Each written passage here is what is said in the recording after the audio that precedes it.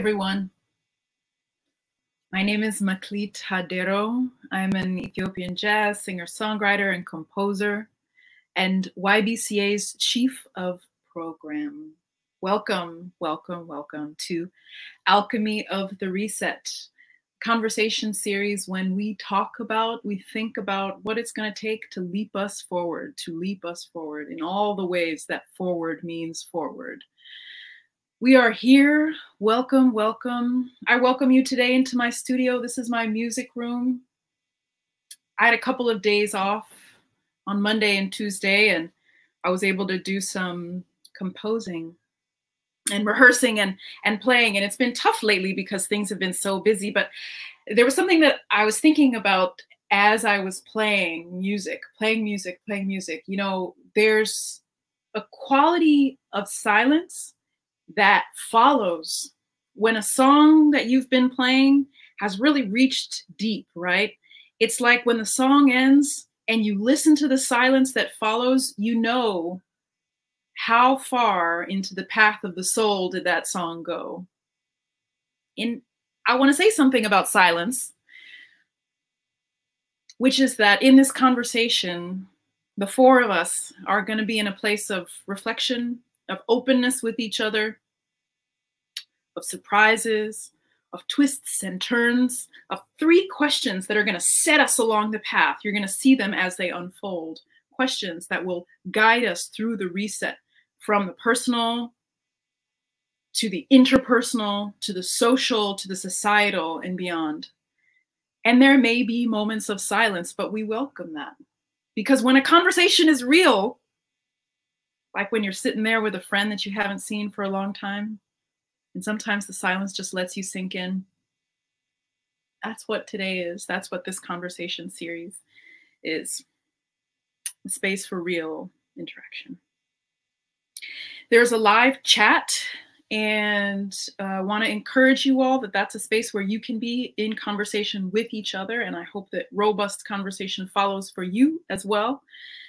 And I also want to thank HowlRound, our streaming partners. Um, Thank you, HowlRound, who are bringing this conversation to even more people, even more people. And now, let's begin. I'd love to start by welcoming YBCA Senior Fellow Liz Lerman. Liz is a dancer and choreographer and an alchemist. Let's go ahead and say it. She is someone who understands the power in bringing people together is always greater than the sum of its parts. Liz Lerman, welcome. Thank you. Thank you, Meklit. And I just again want to say how much I love being in your world. The musicality of the way you think and how you bring your ideas uh, into the present is a beautiful thing. So thanks. I'm I'm here in Tempe, Arizona, in my um, little office at home. Um, it is true, I'm only a few miles from where the president was yesterday. And I did wake up this morning uh, reflecting a little bit on the nature of celebrity and loyalty. And I know how has it come to be that people want to express their commitment by not wearing these masks, which of course are one of the few ways that we really can protect ourselves. So it's gotten me into a lot of um, thought this morning being here in this uh, particular time and place in this state. Um, I'm really looking forward to today because um, among the things I do is uh, teach, and I have been taught my whole life, so I'm really excited about this conversation. And one of the people who's entered my life as a teacher is my colleague, uh, Brett Cook, also a senior fellow at YBCA, brilliant artist, incredible organizer, beautiful human being, and person who makes coloring books. And everybody should get this coloring book. I received it in the mail, Clouds in a Teacup by Brett Cook and Thich Nhat Hanh. And honestly, it's the coloring that has also guided me through this amazing period we're in. Brett? Thanks for the plug. Um, maybe my kids will go to college after all. um, it's great to be here with you too, Liz. I'm here in my studio in Oakland, uh, um, in the upstairs kind of chamber way back behind me. You can see the downstairs part where I have some projects going, some work I'm doing, and uh, that's bell hooks behind me and Thich Nhat Hanh way in the back. Speaking of Thich Nhat Hanh and archives and projects and what have you.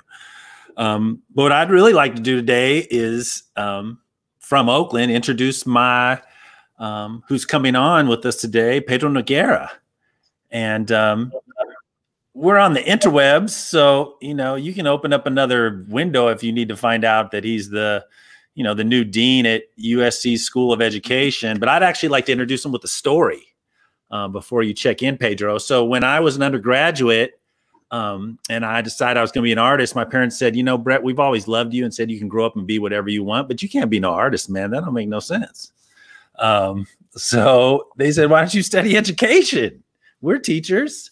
And at the time, there was no um, education program for undergraduates at Cal. But when I talked to the secretary, they said, but we're going to start one. And so here are the courses you can take. And so the next semester, I started taking courses. And one of the courses I had was with this new young professor who had like been there, done all this organizing. People were talking about him. He had a family, he was on the school board, and it was Pedro Noguera. And we really didn't become friends at that time. I mean, we were you know, I was a student and I was undergraduate and I was probably more busy painting on walls in the middle of the night than really being a great student, but it was such a transformational experience for me being with all of these, you know, administrators and, and graduate students and learning from education with Pedro. It's the first time I read Paulo Freire. There are all these things that have been fundamental to my person and really set me on this track to eventually, um, when I graduated, I heard they were hiring at Berkeley High. Um, and so because I had a, a, a, degree and a bunch of my other friends, we all got hired um, to be teachers at Berkeley High. And so for this first year, there were, I think, seven of us. Um, if you could imagine um, being at a high school. So I'd like you to imagine, like, what would it be like for your high school to have seven black men become teachers? Um, or what were you doing in 1993? And could you imagine this happen? Or could you even imagine it now?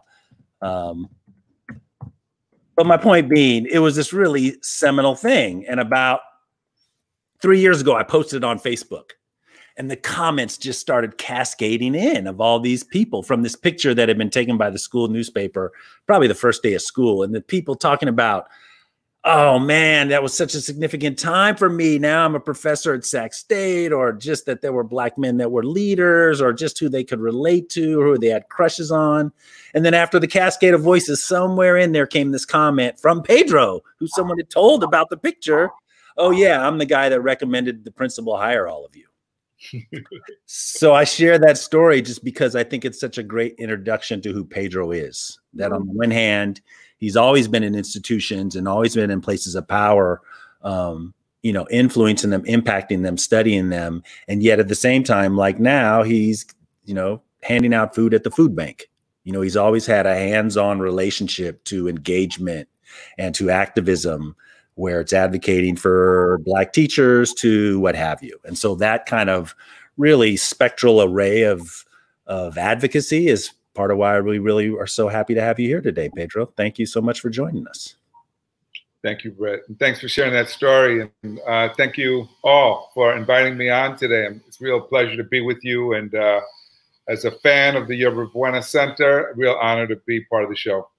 Uh, so looking forward to our discussion. Great.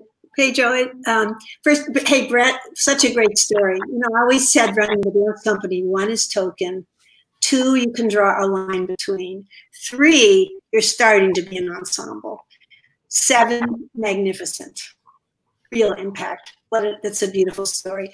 Um, you know, Pedro, this, this alchemy reset partly was the idea of playing with the word alchemy itself, the remixing of elements, the the the, uh, the fact that perhaps we can we can find entirely new ways of being and and the reset although when we first were talking about reset it was I'm gonna close my door. it's getting loud over here oh, okay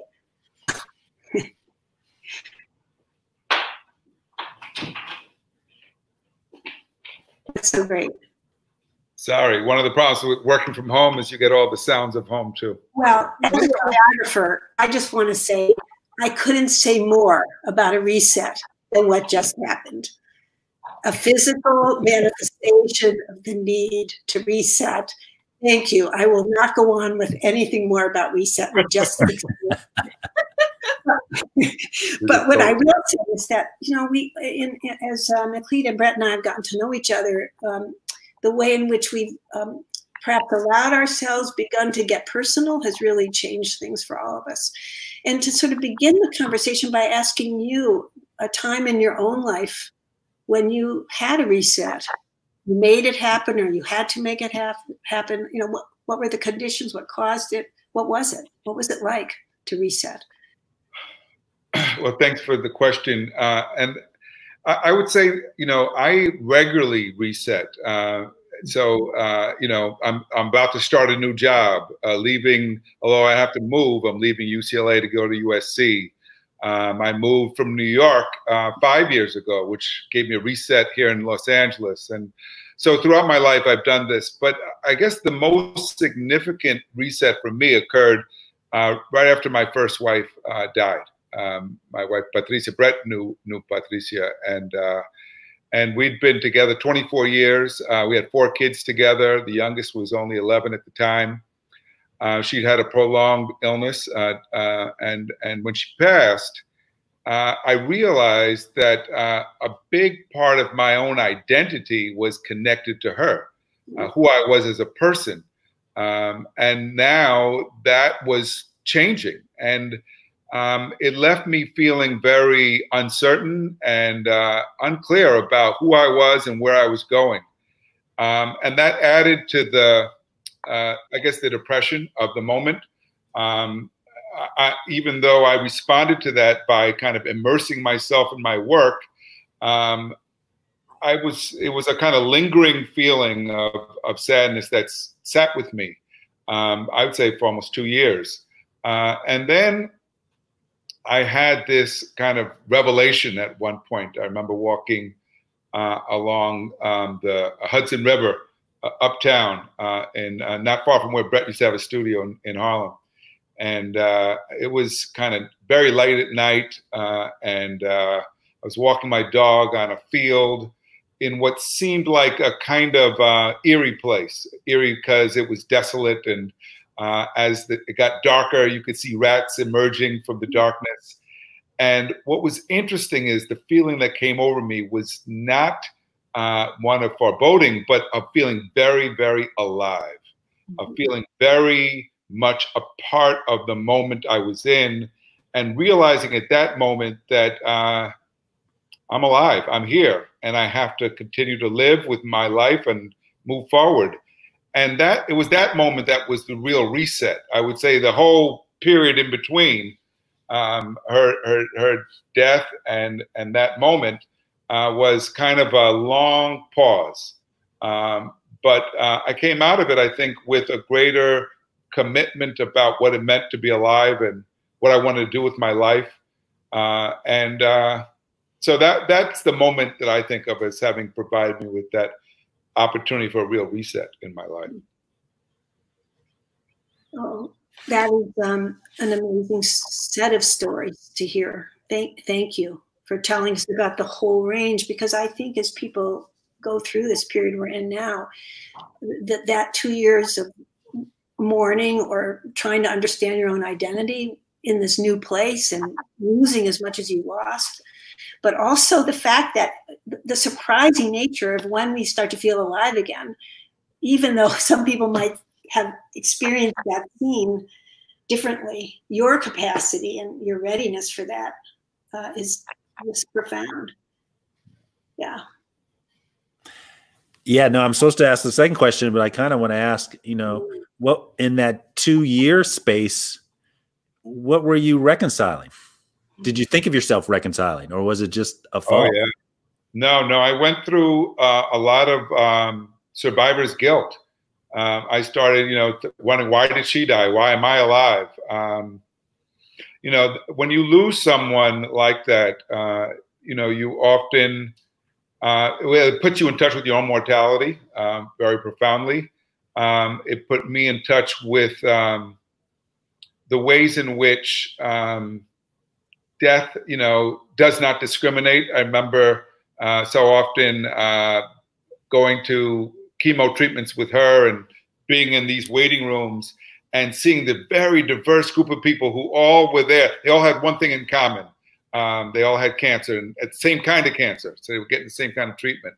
But they were young, old, different ethnic groups, uh, different classes, and they were all there together with this, uh, waiting for treatment. And it made me realize, you know, that we're all fragile in a certain way. Um, we don't think about ourselves that way, but uh, uh, and that I think also reinforces this need to kind of live fully while we're here, which is something I took away from it. But also to live without fear too, and I think that was what that moment uh, meant for me. Yeah, I, I often think about waiting rooms as remarkable, remarkable moments the who is in there, the nature of the suffering, the fragility of the people, the, the, the, the imaginations that are at play, and this sort of living between whatever's happening and the hope. And, and, and everybody in that room is, is having that. And, and I think it's interesting, again, even to, again, compare this to this, are we in a waiting period? Are we? Are we moving past that? We're all in this together for sure. So no, it's a good um, analogy actually for the pandemic and the quarantine that we've been in. Um, it has, I think, given us time to stop, to uh, reflect on our lives, the way we, our priorities, the way we spend our time. I know prior to this, I was on airplanes, you know, sometimes two and three times a week. Uh, I'd wake up in the middle of the night, not even know what city I was in, and uh, and but that that had become my norm um, going, going, doing, doing. Um, and this has given me more time to really reflect on my priorities and what's most important. Uh, uh, before the show, uh, Brett was giving me more tips on composting uh, because I've spent a lot more time gardening. I've spent a lot more time with my my kids, with my work, um, and uh, with my family, and I appreciate that. But I also appreciate the fact that that's a privilege uh, that there are many others who are dealing with great uncertainty and fear. Um, and then now we have uh, the, the uprising that's taking place across the country, which is taking people out of quarantine and back into the streets in a good way. And, uh, and so it then raises the question uh, what's next? And uh, it's hard to know. It's hard to know what comes next. Um, so, in some ways, the gardening uh, is a great way to contemplate what comes next for me because kind of grounds me literally with the earth, um, gives me a chance to um, be in the moment, but at the same time to reflect on what's coming next. And uh, you know, if I, if you don't mind, Meklit, when you spoke at the beginning, you talked about moving forward, and uh, I've been giving a lot of thought to that because I'm not sure if that's always the way things move.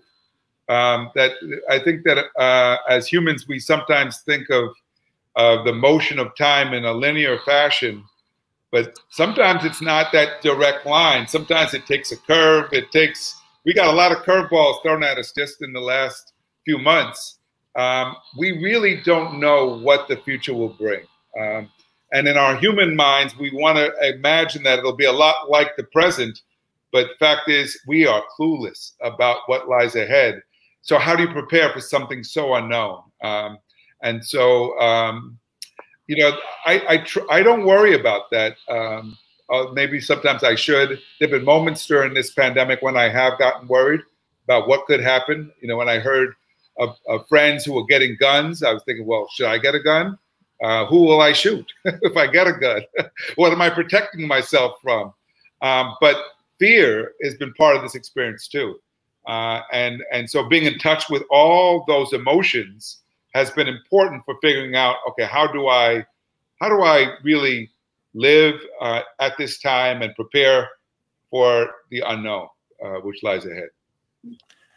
Yeah, no, you're starting to get into what was supposed to be the second question, which is really, um, you know, what is something now that you see that is happening in your life or your career, or your profession that really you know, has been a result of these conditions. Sometimes we ask the question, what do you wish for? But mm-hmm. I want to be open to, you know, what are you seeing in your life garden? Like, what are the things that you're recognizing, you know, are starting to emerge that maybe some of the rest of us haven't noticed or don't see? Well, you know, I, I've since for over 30 years, I've been in the field of education, and Brett brought me back to my times at Berkeley and uh, serving on the school board and being a teacher and, and teaching at the university. And I've, I found that to be really rewarding work. It's a, a great way, you know, you touch the lives of people and then you get to see them do great things. It's like being a gardener, but your garden is your classroom. Um, but I, during the pandemic, I've been thinking a lot about how do we use this reset as a chance not to return to schools as we've known them, but to create something better. Um, and I've been trying to push other educators to think beyond logistics, right?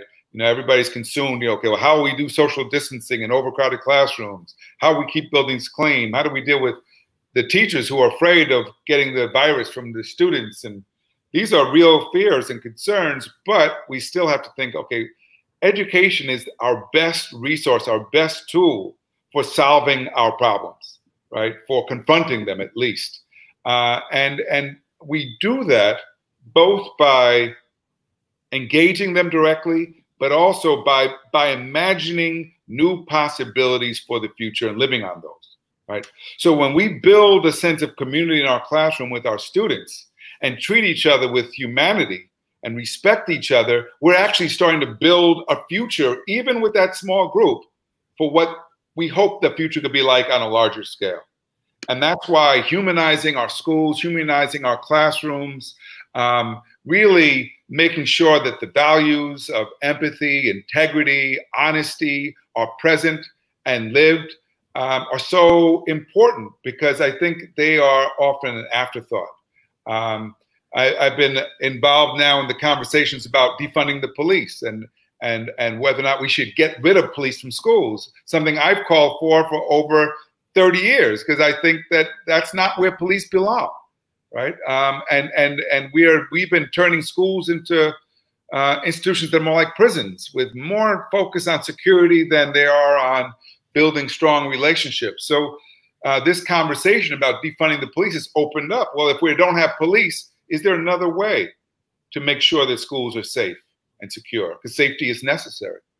Well, I try to remind people safety is a byproduct of relationships, not of security systems that when we know each other, when we trust each other, the students will let you know if something's happening. They'll let you know if a kid's got a weapon or if there's going to be a fight after school. Uh, and we don't think of trust as a resource, but it is. It's actually essential for safety. Uh, and so, how do we move the thinking about what's possible so that we don't just go back to what we had? Because the path we were on not just in education, but in society generally, was unsustainable. You, know, you think about what we've grown accustomed to and what we've allowed ourselves to accept. We accept people living on our streets. We accept mass incarceration.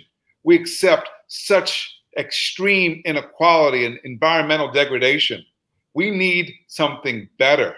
Otherwise, we're all in trouble. And so, uh, this has to be a moment where we um, both imagine new possibilities, but also hopefully organize others around those so we can make them real and not just um, imagine them. You know, Pedro, I, I, I couldn't agree more. And uh, in the last few years, agreed to go teach at university full time, which was not something I did, had thought would ever happen.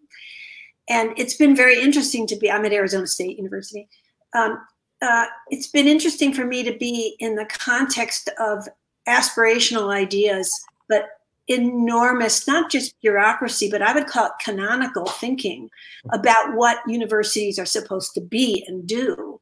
Even things like, you know, I'm on a, a, kick. I mean, every time I see anybody who's higher than me, I always say, when are we going to change the classrooms? Because even when you talk about humanizing the classroom and they sit in these stacked rows and they can only look forward and they're, you know, I mean, to me, it's like you, you can't even begin to even just be humane in the room itself. So I'm, I'm curious about your own coming up against the, the, the constructs that hold these um, this momentum you're describing that we want to stop and change. No, that's a. Um, I, I, I certainly agree with you. You know, the architecture of the classroom of the university um, shapes our relationships, and and um, at the same time, the way I look at it uh, is it's a constraint that we just have to work around. Right? Mm-hmm. Uh, we live with constraints of all kinds. Um, constraints related to uh, our bodies, related to um, our, the resources we have available, but the constraints don't determine the possibilities. They just become something that uh, we have to work around to create new possibilities. So, um, I, you know, even though I have classrooms like yours where there might be uh, auditorium style teaching, it doesn't mean that the conversation has to all be directed at me. We can still find ways to move and to communicate so that we create a learning community that includes everyone, right? Where all voices are heard and respected. Um, and, and so I tried to not allow um, the constraints that are created by uh, the limitations of a particular situation to dictate the situation. Um, you know, I'm, I'm, I'm, raising this now about our fears about violence. You know, so much of our um, fixation on the police is because uh, people are afraid of, of, of being victims of some kind. So they think they need police, they need men with guns to protect them. Um, but, uh, you know, really, safety doesn't come from men with guns. it comes from our relationships, knowing your neighbors. It comes from uh, uh, being connected. Um, and we have a lot of research to actually shows that that's true. And so, in some ways, our beliefs are also limitations, right? Our they constrain us, and so part of what we have to do is to challenge those beliefs um, in the way we relate to each other, the way we relate to our environment. Uh, that's something I've tried to do in my own work uh, in education. Uh, I'll just tell a, a, story to illustrate that. I was when I was teaching at, at Berkeley Beck in the days that Brett mentioned, new professor. I was approached by a school. They um, had just opened a new school in Oakland. Several of my former students were teaching there, and they had no building. They said their building was under construction. They had no place to start school at the beginning of the year. They said, "Could I help them?" I said, "Well, the university has lots of uh, classrooms." I said, um, "What I'll do is I'll reserve rooms, and you all could just meet here."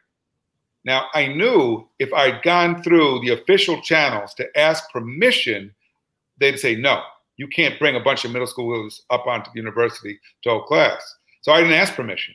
I just reserved the rooms and did it. And next thing you know, there were all these mostly Chicano middle schoolers running around the building, and people say, Where are these kids coming from? And that went on for two weeks before they realized what I had done. Uh, because uh, I knew that asking permission was not the way to go.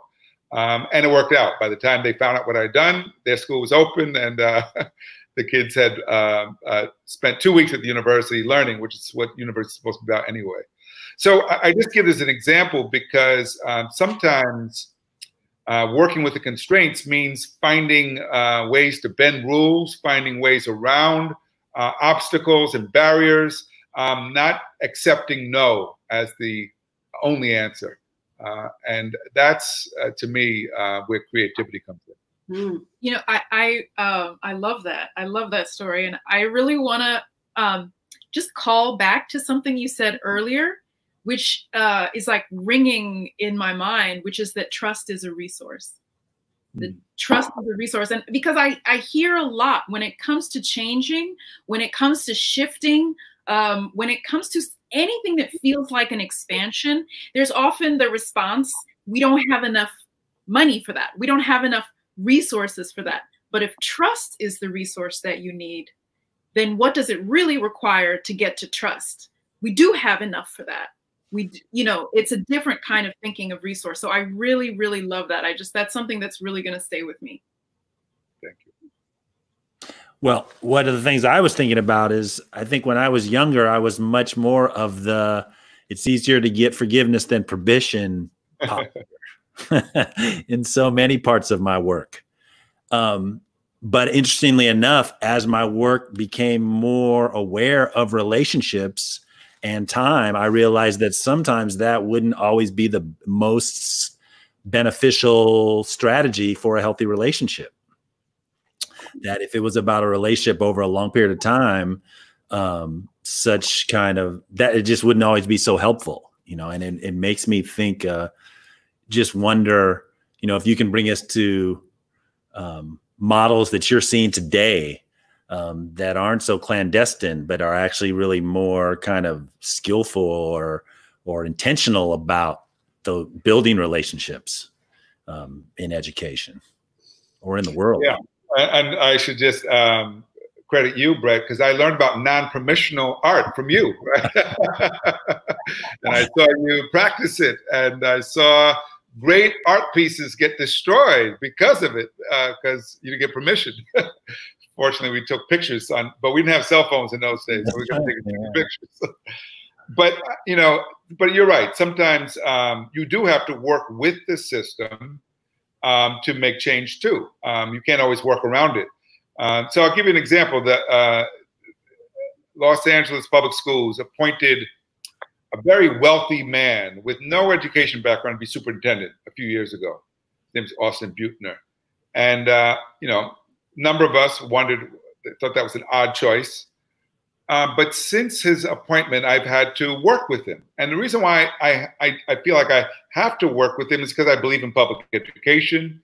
He's the one in charge. I think I need to try to help him to um, be as uh, do as good a job as, as he can. And and it's been interesting our relationship because we are very different people, um, come from very different backgrounds. Uh, my own values uh, uh, very different than his own. He he was opposed to the motion that was voted down last night to defund the police, but I don't that I I would not take his vote, his recommendation to keep the police as a sign that now he's my enemy.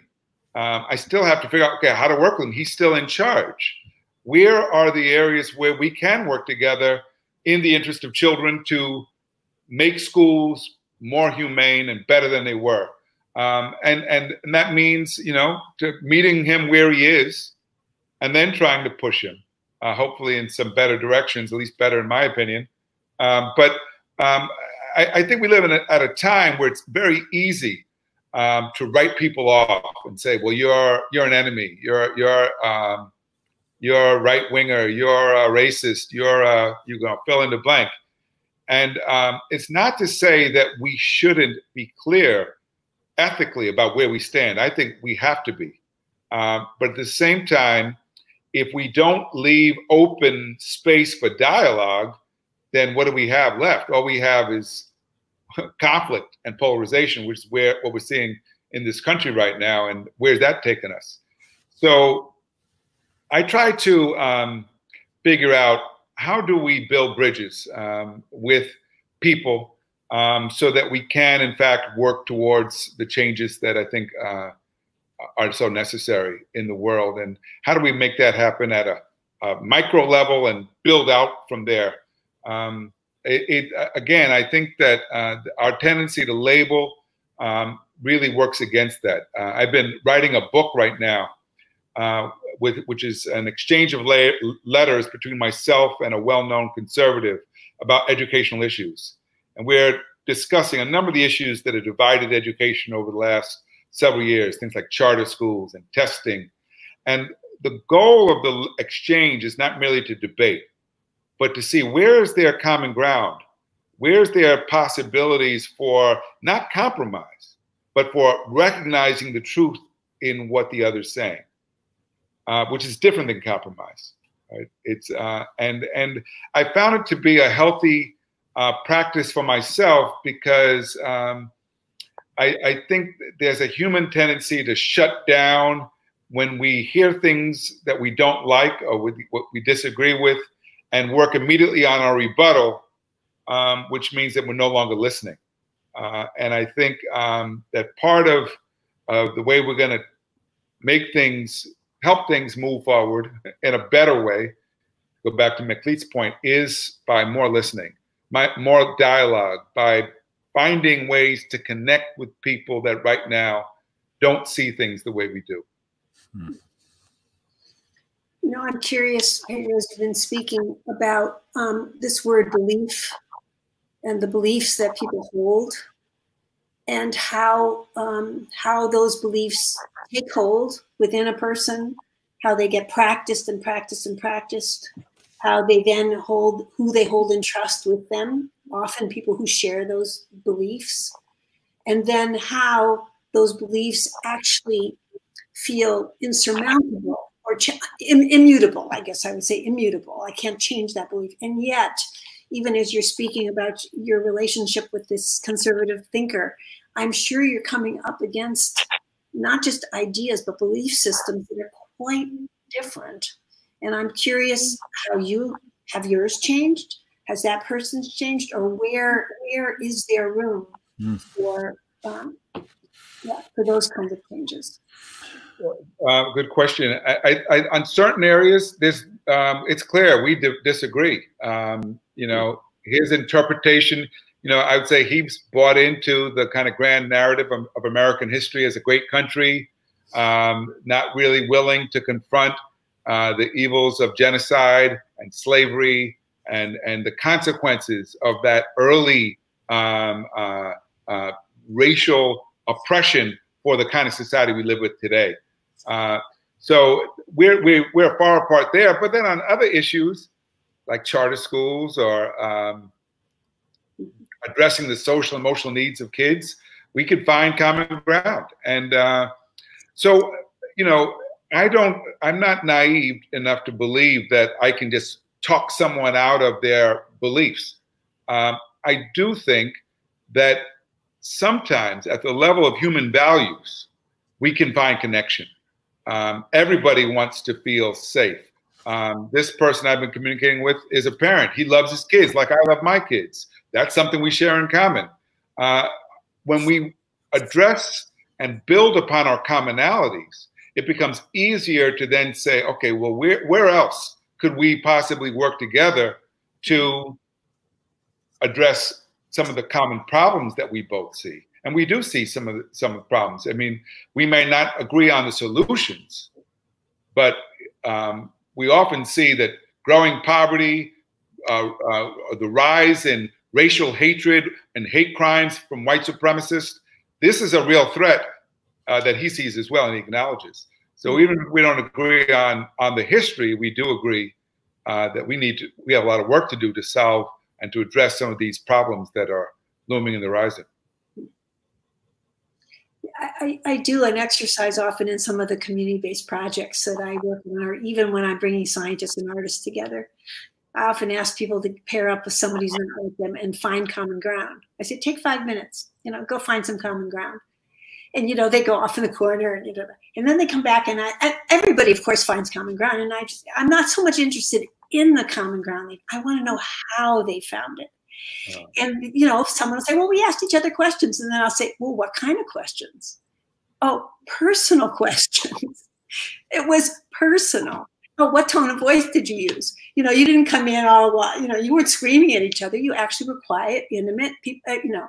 So we know how to do it. Yeah, but we don't do it enough. Uh, I, I often say, you know, during moments of crisis, and the pandemic hasn't really allowed for this, but I was in, in the Bay Area in 1989 during the Loma Prieta earthquake.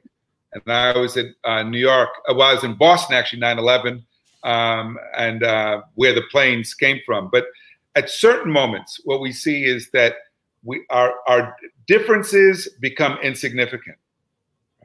Um, I saw this in 89 uh, when the, the, the Nimitz freeway collapsed and people were strapped under their cars the first people to scale the freeway to help people escape were residents from the Acorn housing projects, because right? they were closest to the structure.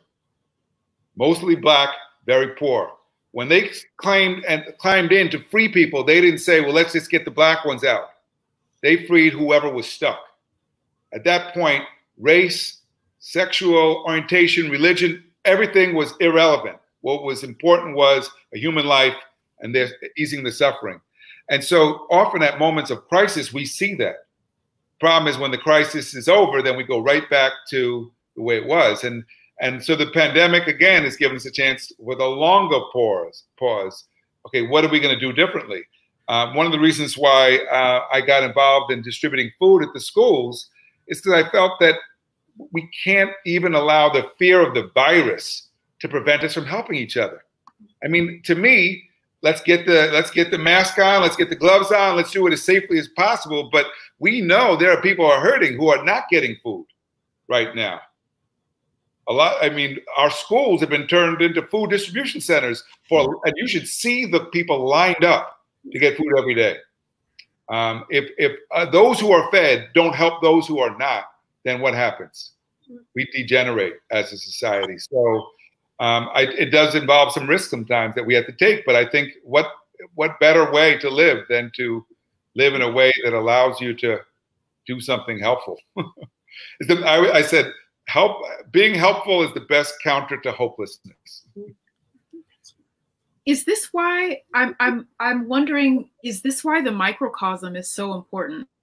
Is this why the immediate the neighbor the the kid in your classroom the because i wonder how do if we need this intimacy to get to that trust how do we do it at, at a societal level? Do we need to do it at the microcosm first? Mm. That's a great question. I mean, I think we definitely need to do it at the microcosm. We need to do it within our families, within our communities. Um, when we on the night of um, it was uh, maybe a, a, few nights after George Floyd's Floyd's murder, um, people were encouraged to gather with their neighbors uh, to for a, a, moment of silence for eight and eight minutes and forty six seconds, the amount of time that he was strangled to death by the police uh, and then to hold up flashlights. And uh, we know our kind of know our neighbors say hello, but we gathered together, and um, it was interesting to see who came out, who didn't come out, because not everybody came out. Uh, it was interesting to see uh, that we had no plan for what to do, and one of my neighbors brought candles, which I thought was a great way to light a candle for the life that had been taken out. Um, and then to share words without giving speeches about the moment, just words to acknowledge the loss of life. And it was a great way to come together as a community, a very diverse community. Um, I don't know how we build from there to do that work at a larger level, at the level of the city, the state, the country, the world. I, I think we have to go there. I just don't know how we make those leaps uh, effectively. Uh, one of the reasons why I agree to do a lot of uh, these talks is because I hope that somehow the words are going out there into the atmosphere and planting seeds uh, that others will take and run with and do good with because I don't know any other way uh, to try to help spread, uh, you know, good.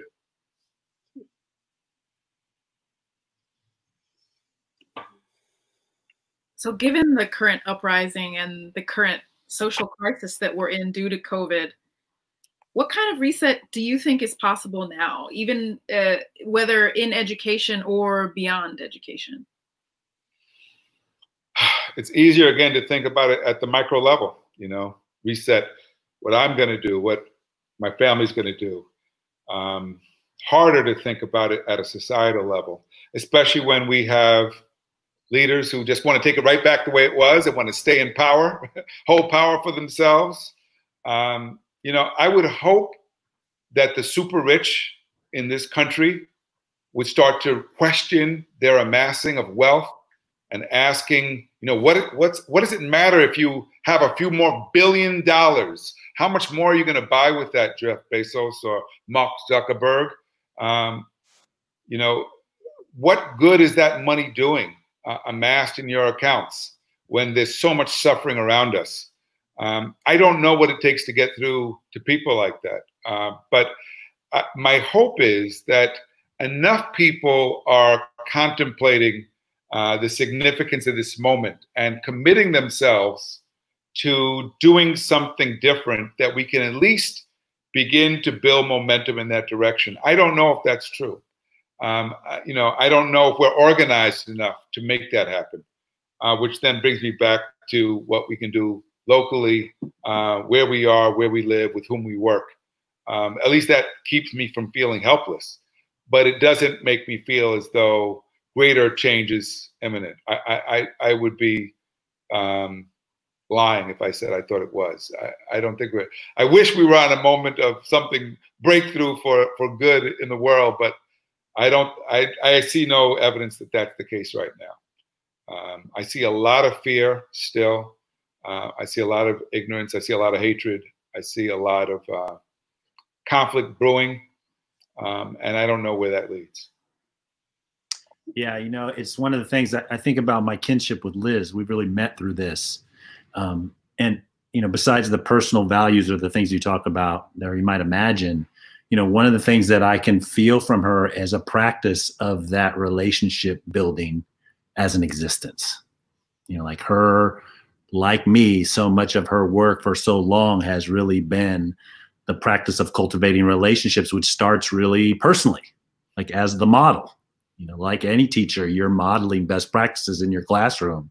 So in our projects, we have such a practice of, of cultivating healthy relationships. And so it's one of those things that, in some ways, uh, more of a conundrum than the kind of uh, gloom that you started to tail off with pedro. You know, like how do we do that in in this time with distance?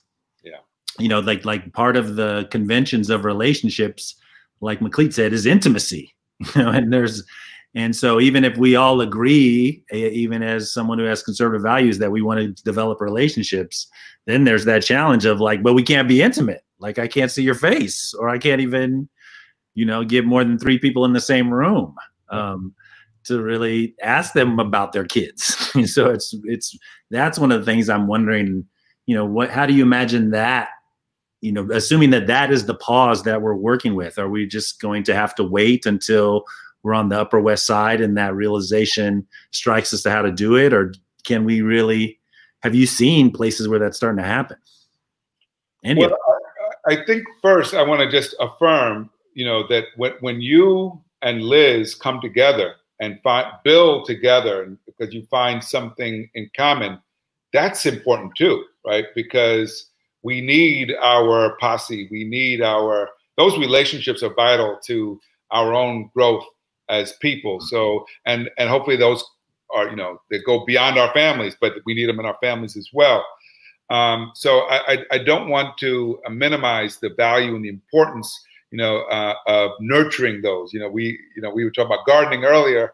You need the garden needs water. Um, you and I, uh, Brett, haven't seen each other in a long time, but we connected over composting uh, during the uh, uh, pandemic. You gave me um, all the tips, and I need more tips. Um, and and so we we kind of, um, even though we haven't seen each other in a long time, that waters that relationship too, and helps to to to, to strengthen it.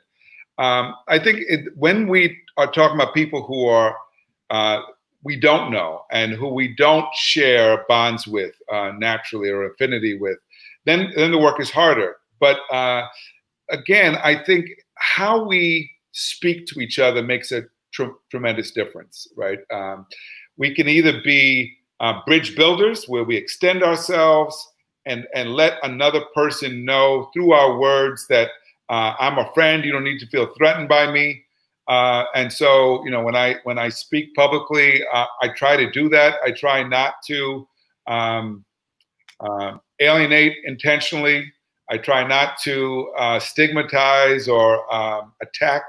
I try to be positive as much as I can, um, because I'm hoping that some of those people listening out there may not be people who necessarily agree with me, but because of how I've spoken to them, mm-hmm. now maybe they're more open than they were before. Mm-hmm. And now maybe there's a possibility that we can move in a similar direction, um, addressing a common problem than we might have otherwise. So uh, that's the only thing I know to do, aside from, again, um, where I am immediately and who I work with and who I uh, live around, uh, extending myself. But I, I think that extension of ourselves, um, our, that openness of you know to others, is is a, a start, an important starting point for building um, a different set of relationships. I'd, I'd like to return to money for a minute, Pedro. money.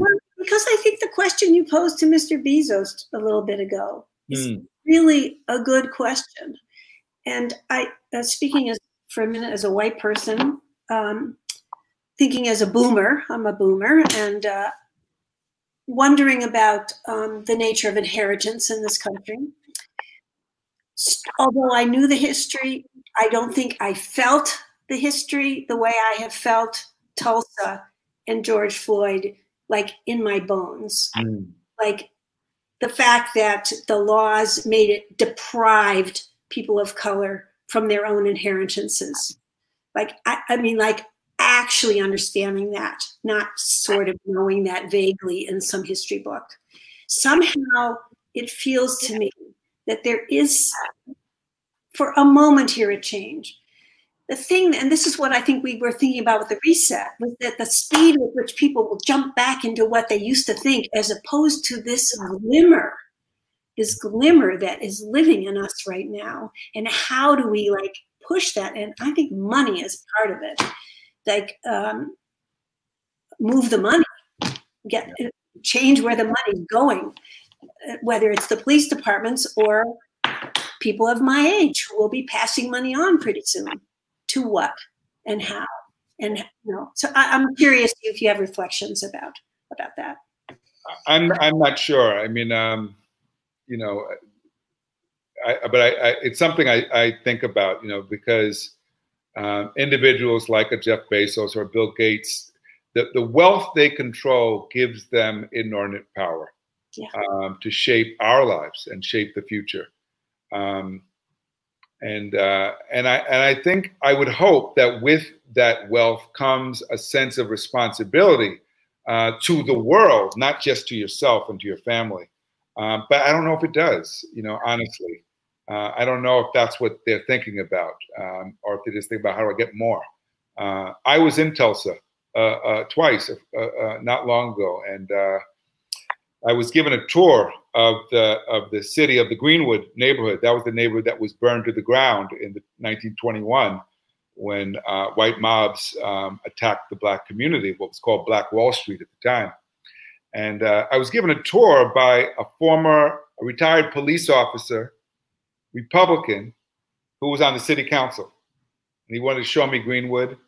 And we visited a, a community center and that it was where um, there had been a general store in the past. And uh, a teacher who worked at the community center showed me a project she had done with her kids. And it was that, that she had her students, fourth graders, remake a model of Greenwood right, with small houses and trees and churches and um, and they worked on it for several weeks together. And the end of building this model, she set it on fire. And the kids uh, reacted the way you're reacting. And she said, if, think about how you feel now and imagine if this was actually your home. Imagine if you were actually there. Um, at first, I said, wow, that's abusive. And then I thought, you know, sometimes we need that kind of visceral shakeup to understand the significance of things. Right? Um, someone pointed out to me recently that you know the Trail of Tears ended in Oklahoma. A lot of Native Americans who were forcibly displaced and marched across the country ended up in Oklahoma and some settled in Tulsa. So the story of Tulsa is a story of dispossession uh, that that ra has ramifications way into the present right? for many of us. Uh, how do you reckon with that? And if we don't reckon with it, how do we move forward? Because if you don't acknowledge the hurt, it's very difficult to imagine moving forward. So uh, it's interesting that same retired cop, same a Republican council member took me to a memorial to John Hope Franklin, who was from Tulsa. He's a famous mm-hmm. African American historian and it's a beautiful memorial. And he said, that community center and this memorial is what we got when we demanded reparations. I said, you demanded reparations? He said, that's right. He said, this community deserved reparations for what happened. Mm. He said, this is all we got. He said, but we got a lot of work to do. And I was shocked to hear a white Republican, former policeman, talk, make the case for reparations. Uh, and I believe if that can happen, growth is possible.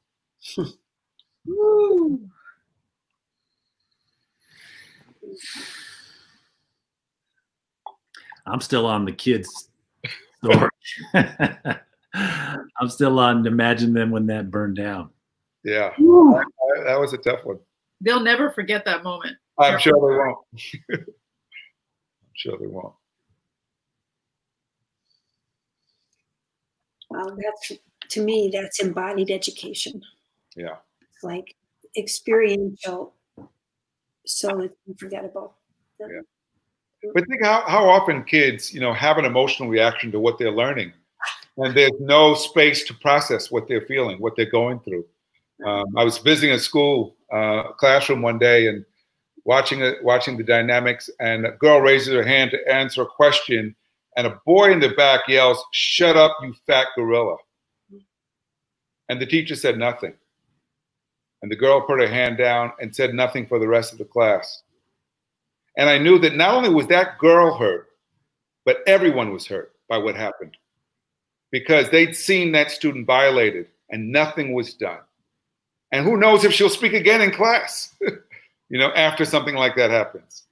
Um, you know, that's just a very small example of the kinds of, of slights and aggressions that people experience um, in school and outside of school. But you know, I, that's the reason why I think a lot of this work has to be about acknowledging hurt when we see it happen, acknowledging the wrongs, so that we can move forward. Uh, I was giving some uh, friends; they'd written a statement about the uh, about the killing of George Floyd. They in, in their statement they said he lost his life. I said he didn't lose his life; mm-hmm. he was murdered. We saw it. why do you use this kind of sheepish language that sanitizes? something that can't be cleaned up. It can only be cleaned up by acknowledging the wrong. You know that I, I I feel compelled just to say that the the example you gave before about the teacher and the girl who was violated and no one said anything. It made me think again. I, I know I'm coming back to this, but again of the microcosm because the example that can be set to stand up for each other that when we can set an example to stand up for each other, how that ripple effect does go far beyond that classroom, or how that moment of acknowledging the model, the model set on fire, the emotional moment where they understand a piece of history, how do those students then walk forward in their lives knowing something mm. about that? That, that that that microcosm does ripple. And we may not be able to understand the effects, but they are there in other microcosms that are very real, very real, and affect people's lives in real ways. Absolutely. My, my wife is a, um, you know, she's a, a mindfulness educator and meditator, uh, and uh, and she's a part of several large organizations that do this work throughout the country, and they're going through a lot of challenges because some of them are saying we're not social justice organizations. And I said to her, if they're not, then what are they? If they say they're for compassion and they can't feel this moment, then they are hypocrites. you know, so being able to feel the moment we're in, being able to know how to respond, I think is an essential part of of the work we've got to do. Well, I would love to drop some stories on that, but I think we're out of time. And regretfully, we're out of time. So I, I have the esteemed honor of just saying thank you, Pedro, for joining us today and giving the excuse for me to see you. Um, like I, yeah, like I told in the backstage before we started, I told Pedro, like I tell everyone, the only way I get to see you is if we do a project together or you live in my house. so this is the closest I could do. well, well, hopefully, where we can see each, we can see each other in the flesh again. Thank you so much. Thank, thank you all for having me. Uh, it's been a great conversation, and uh, I appreciate the work you're doing to get us reset. So thank you. Thank you. And thank you to everybody who joined us today. And we will see you next week, July 1st, for Alchemy of the Reset once again. Thank you, everyone.